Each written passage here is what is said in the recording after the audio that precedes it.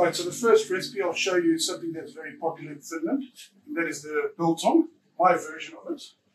So I'm using here the meat is a sirloin, which usually in Finland is quite clean and not much fat on it, but it's fine for what I'm trying to do.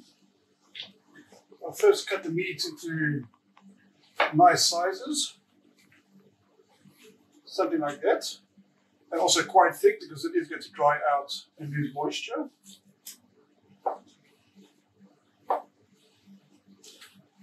Those are packed into my tray. And then ready to marinate. First of all, coriander seeds. Those get crushed up, not too fine because you still want pieces of coriander on there.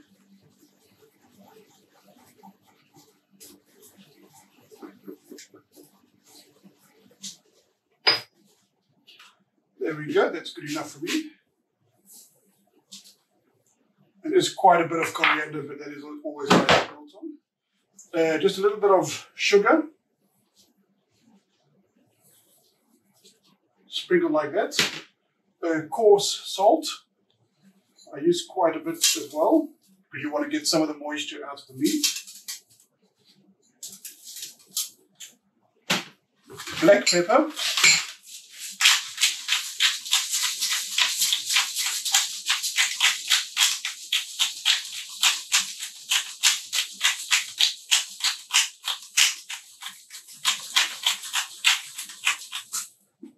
And then finally some red wine vinegar.